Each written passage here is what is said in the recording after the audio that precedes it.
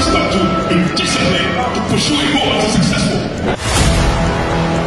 A round of applause for these seven people. They have won for themselves a cash prize of 100,000 naira each.